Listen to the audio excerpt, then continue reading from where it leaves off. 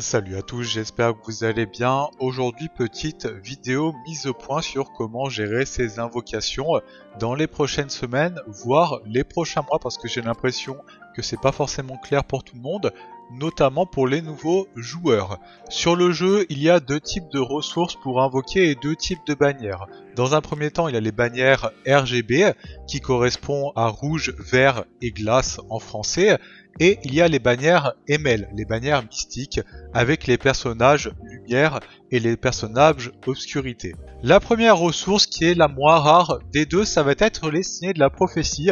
Ça sert à invoquer sur deux types de bannières. La première, c'est l'invocation de la prophétie, qui vous permettra de récupérer quasiment tous les héros du jeu, que ce soit des RGB ou que ce soit des ML, à l'exception des héros limités et des héros de collab, mais en général on va pas trop invoquer dessus, on va plutôt faire les invocations gratuites qu'on nous donne, parce qu'on n'a pas de pitié sur cette bannière, du coup c'est très difficile d'obtenir certains héros. Avec ces ressources, on va plutôt invoquer, donc je parle bien des ressources signées de la prophétie, sur les bannières avec une pitié. C'est les bannières qu'il y a en ce moment. Il y a actuellement Laia, qui est un héros limité donc qu'on ne peut pas récupérer dans les invocations de la prophétie, et il y a Kissé, un héros 5 étoiles, qu'on peut récupérer dans les invocations de la prophétie. Ces deux bannières, c'est des bannières avec une pitié, c'est-à-dire qu'on va faire 120 invocations, et si on n'a toujours pas réussi à invoquer le héros, à la 121e invocation, on est garanti d'avoir le héros. En revanche, sur ces bannières, on peut voir un petit peu les informations, on ne peut pas avoir de personnages ML, on peut avoir que des RGB. Au niveau du 5 étoiles, on aura forcément le héros de la bannière. Au niveau des 4 étoiles, on peut regarder, ce sera que des RGB, il n'y aura aucun ML 4 étoiles. Et au niveau des personnages 3 étoiles, c'est pareil, c'est que des personnages RGB et il n'y a aucun ML 3 étoiles. La deuxième ressource qui est beaucoup plus rare, cette fois-ci, ça va être les médailles mystiques. Cette ressource, elle va servir à faire des invocations sur la bannière invocation mystique qui va vous permettre de récupérer soit des ML 5 étoiles, soit des ML 4 étoiles. Actuellement dans la bannière, il y a un choix parmi 4 héros, May de Chloé, Zio, ML Ilias, Ruel, plus un ML 4 étoiles qui est toujours sur la bannière. Actuellement c'est Assassin Colis.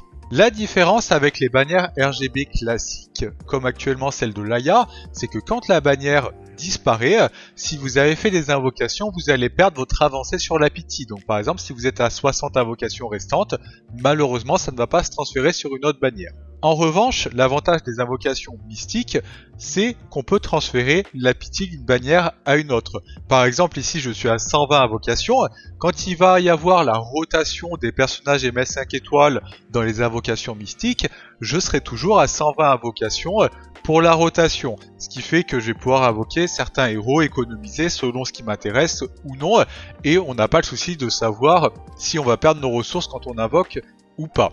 Donc ça c'était la grosse parenthèse sur les différentes ressources et les différentes bannières. Maintenant pourquoi je parle de ça?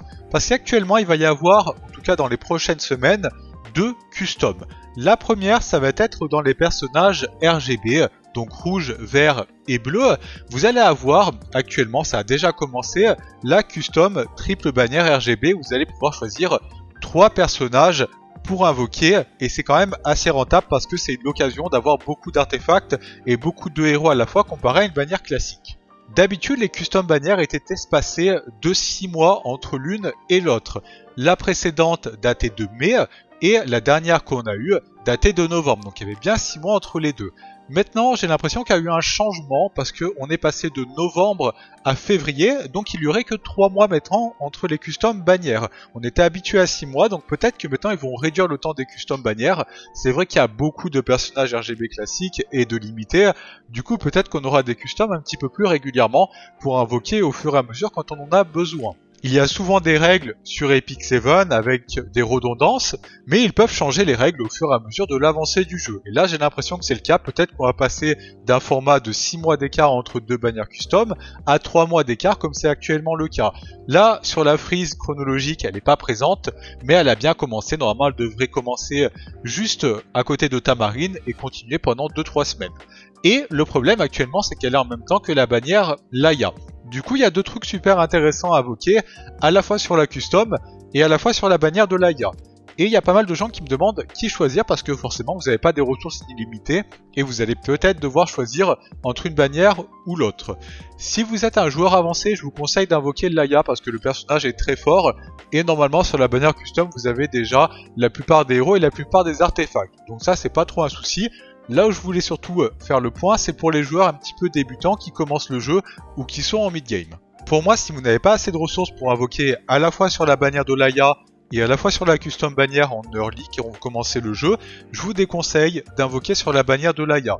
Parce que certes, le héros est très puissant, j'aime beaucoup la jouer, mais c'est un héros qui demande un équipement un petit peu spécial. Il faut avoir pas mal de vitesse, pas mal de santé, sinon le héros sera correct, mais il sera pas en pleine capacité de ses pouvoirs et de ses compétences. Donc vous allez galérer à la jouer au début, et c'est pas spécialement un héros que vous allez commencer à jouer en PvE, parce que c'est plutôt un personnage soutien, alors qu'au début, quand on commence le jeu, on a pas mal de personnages soutiens qui sont free to play que vous allez pouvoir jouer, et on va plutôt chercher des DPS qui sont très efficaces. Et dans ce cas-là, moi ce que je vous conseille, ça sera plutôt d'aller invoquer sur la bannière customisée.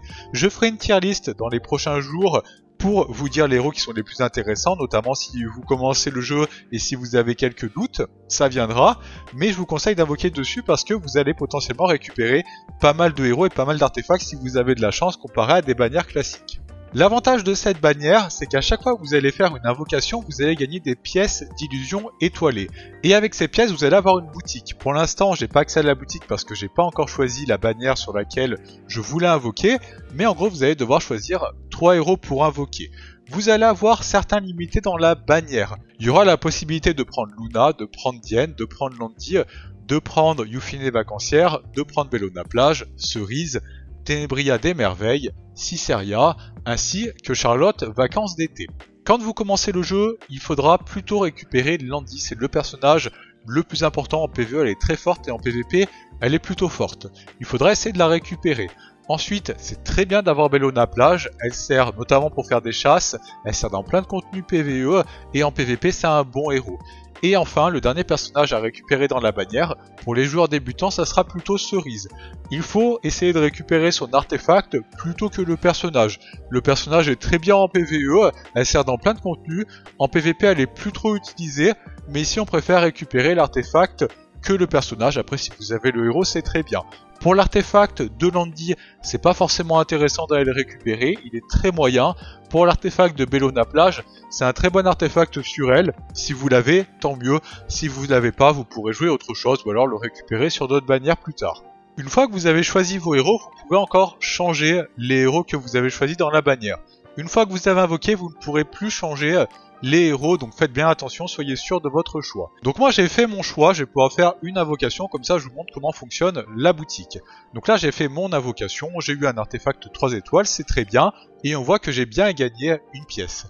L'avantage ici c'est qu'avec cette pièce, si vous faites 120 invocations classiques, donc l'équivalent d'une pitié, vous allez récupérer 120 pièces qui vous permettra d'acheter un héros. L'avantage ici c'est que si vous arrivez à invoquer un héros avant les 120 invocations, votre pitié ne va pas être initialisée vu que vous gagnez une monnaie. Du coup, vous allez récupérer votre héros invoqué et vous allez pouvoir continuer à invoquer jusqu'à avoir 100 ou 120 jetons pour acheter un deuxième héros. C'est pour ça que c'est très rentable et si vous avez un peu de chance, vous pouvez récupérer plein de héros. Deuxième avantage ici, c'est que d'habitude il n'y a pas de pitié sur les bannières classiques pour les artefacts, du coup c'est très dur de récupérer les artefacts. L'avantage ici c'est qu'on voit qu'on peut acheter les artefacts contre 100 pièces. Le petit bémol c'est qu'on peut acheter qu'une seule fois un exemplaire d'un artefact, mais vous pouvez très bien acheter les trois différents, et ça coûtera 100 jetons. Donc ça c'est quand même super intéressant quand on veut récupérer des artefacts, notamment Lumière Dirigeante, qui est l'artefact de la bannière de Cerise. C'est en général un artefact que beaucoup de gens veulent.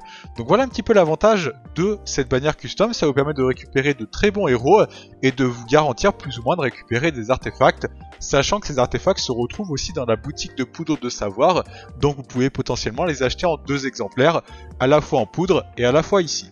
Donc pour les joueurs débutants, je vous conseille plutôt d'invoquer ces héros. Le problème c'est que vous allez peut-être rater l'Aya. La règle actuellement dans les bannières custom, pour qu'un héros puisse apparaître dans les limités ou dans les RGB classiques, il y a deux conditions. La première condition, il faut que le personnage soit vieux d'au moins 6 mois, donc si le personnage est trop récent, il ne sera pas dans la custom.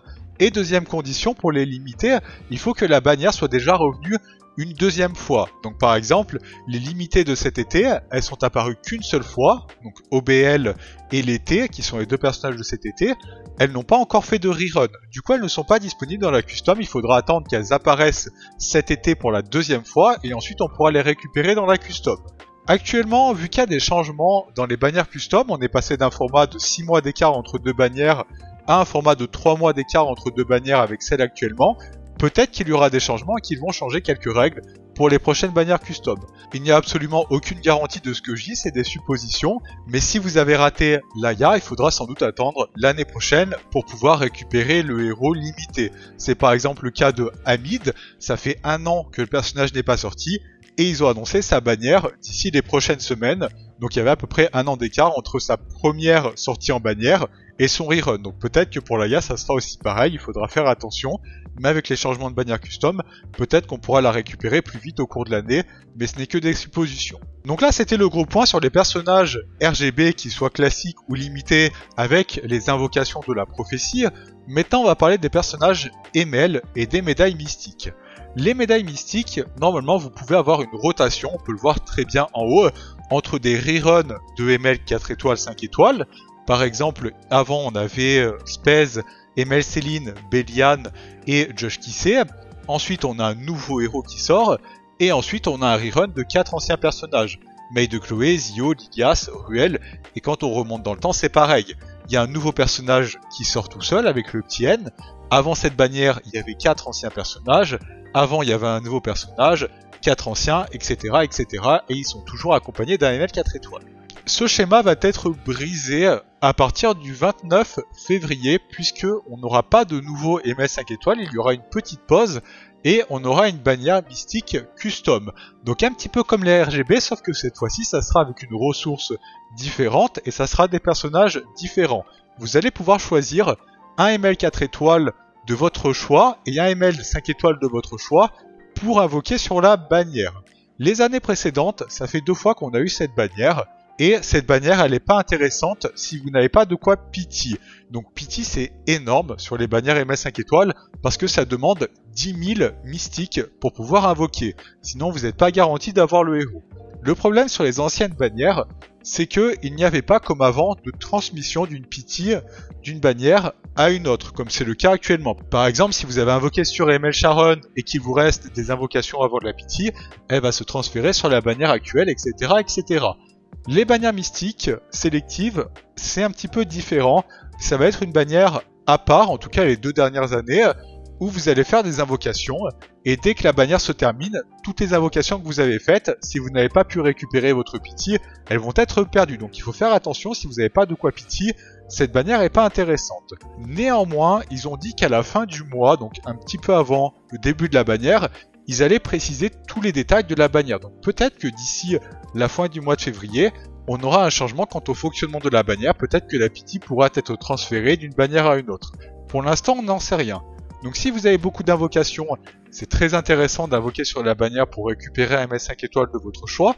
Si vous n'avez pas assez d'invocations, c'est l'occasion d'économiser.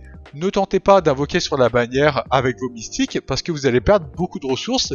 Si vous n'arrivez pas à avoir le MS5 étoiles de votre choix, malheureusement tout ce que vous avez dépensé en invocation, vous allez le perdre, sauf s'il y a des changements par rapport aux années précédentes. Donc c'est un petit peu un moyen d'économiser pour potentiellement un nouveau ML 5 étoiles qui sortira après la bannière.